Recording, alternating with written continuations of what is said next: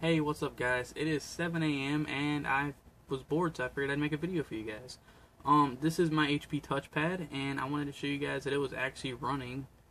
If we scroll down to About Phone, you see that it is actually running Android 4.3 Jelly Bean, and I just figured I would show this to you guys because most Android phones and tablets don't even have Android 4.1. and I figured this tablet, it's a WebOS tablet. I love WebOS but I just thought it was funny that a WebOS tablet has the latest operating system before most actual Android devices that are released. So I don't know why that's funny. I just thought it was. But go to settings. We can kind of check out some of the features that you have. So the home screen. Now I did leave this as Trebuchet because I had to wipe everything from 4.2. On 4.2, I did have everything set up like my games and all of my apps, but Titanium Backup decided to just delete it when I was installing 4.3. So that's always fun. But Trebuchet is, if you don't want to like download Nova Launcher or something like that, this is basically has all those options, but it's built into the actual ROM itself. So that's pretty cool. So we have gr grid size, so you can change the grid size. You can set it all the way up to 10 by 10. You can stretch the screen, so you can have the search bar.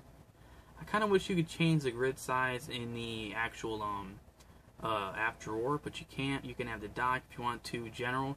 If you don't have auto rotate screen, it auto rotates anyways because this is a tablet. So I think that's kind of meant more towards the phones. Um, if we go to lock screen, see we have screen security. We can change these slider shortcuts. See, I just kind of left them as default after I installed because when I had it set up on 4.2, it actually, you know, I had everything set up. But I didn't really feel like messing with the lock screen because if you go to lock it and unlock it, I used to have my Gmail widget, and then I had Plume, and I had something else, but I don't remember what it was. But see, I just kind of left the default unlock shortcuts. Most of them don't work because there is no phone app, there is no messaging app. So yeah, um, you can change the settings for the clock widget. You do have your CM10.2 um, theme chooser theme. I just I don't know for some reason every time I apply a theme, it kind of slows the device down. It may just be me, just I don't know, but it so I just kind of leave it as stock. Um, if we go to interface, we can go to status bar. You don't have as much like to choose from as you do on the phone, but I mean, nevertheless, it's still there if you kind of wanted to choose it. So you can choose your CM circle. I kind of have it without the percentage because I think it looks cleaner. My battery is about to die. Um, quick settings panel. See if we pull this down. I love that they included the camera feature. So if I there you go. We have the front facing camera that you see my finger going over. And I kind of like that it actually works. Um, I like that on the uh, CM10 on the on the phones because you can have the back camera and see it kind of freezes up the device. So kind of give it a give it a minute to force close the system UI. There we go. So the system UI force closes, but I mean it's no big deal. You get used to it, and you don't really use it that much anyways. So now you can choose the tiles and layout. Yes, my battery's dying you can choose the tiles and layout and go back. On the notification drawer this is where you can have your toggles over, on this side. I don't really see the point if you have them on this side and you can quickly pull down both so there's really no point. Expanded desktop if you, if you long press the power see we have expanded desktop. I have it to where it hides the status bar and the navigation bar because if, if you're playing games like I don't know Need for Speed you don't want to accidentally hit the home button or the recent apps button in the middle of a race because it gets pretty annoying so on all CM builds, like when I'm playing a game or something like that, I hide the status bar and I hide that. I do not use PIE because PIE just sucks. I hate it. You guys may have a different opinion, but you can also choose different shortcuts when you long press and slide up. But you know, I just kind of leave it as default. Um, sound, display, and lights, basically all like the same thing you get on every build. So I'm not really gonna go. Alright, I guess I'm not gonna go through settings anymore. It's just all basic stuff. See, I have a few apps installed. This is where I wish you could change the app drawer, the grid layout. I don't even know why I still have that. I don't really care for it. But see, this is just kind of my media device. I had a few games. I had, you know, Need for Speed. Games, um, Netflix and YouTube, they both work just fine. So if I go ahead and open up YouTube, you know, YouTube takes forever to load up. I mean, it's just kind of. But see, if we load this up, and um, we hit the recent apps button. Don't fail me now. Alright, so sometimes this happens. When you hit the recent apps, it doesn't work. But say you open up, let's go back to settings. Wait for this.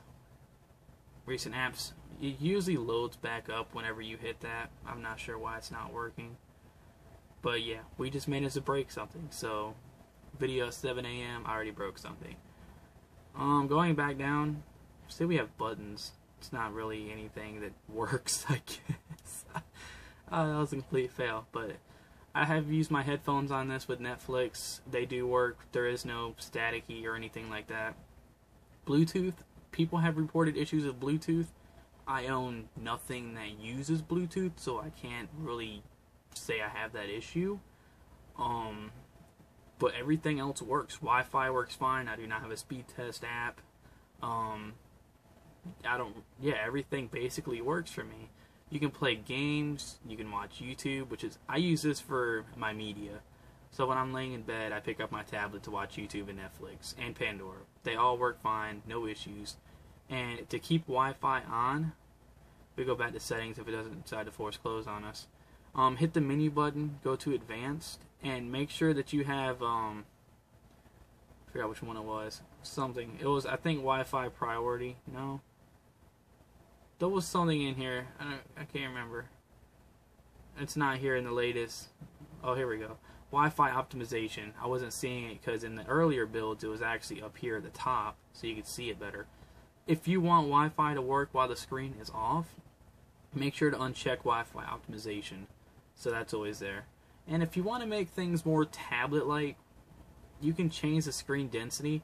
I usually I had it on about 130 dpi on CM 10.1, and it looked like the uh, Asus Transformer Prime. You know how it has that layout. That's what it looked like. The status bar and the notification bar were still separate, but there is a few patches that you can find around you know XDA that gives it the real tablet UI like back in CM9. So if you wanted that, that is always available.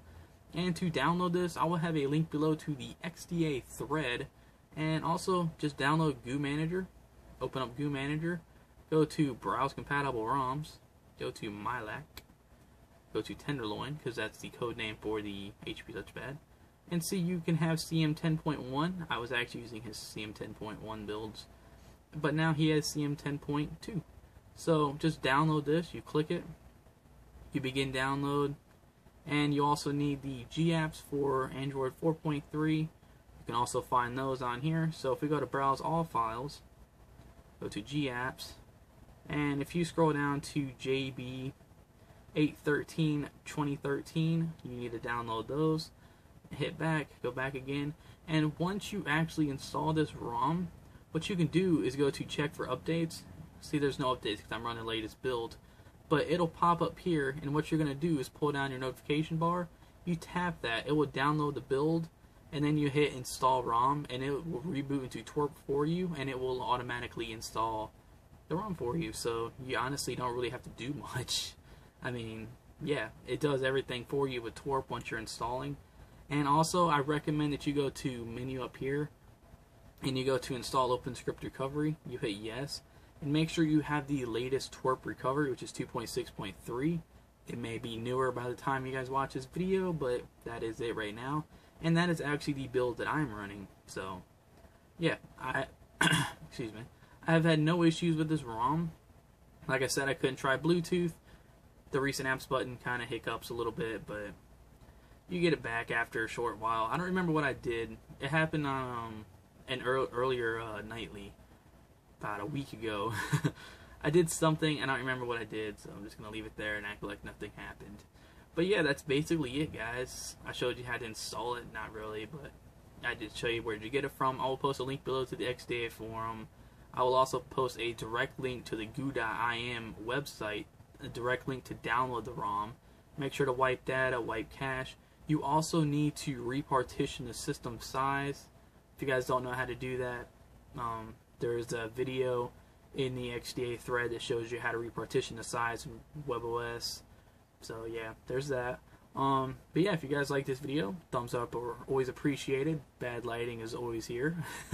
I'm lying. It's it's early. There's the sun's not even out yet, honestly. Um, and I'll see you guys in the next video.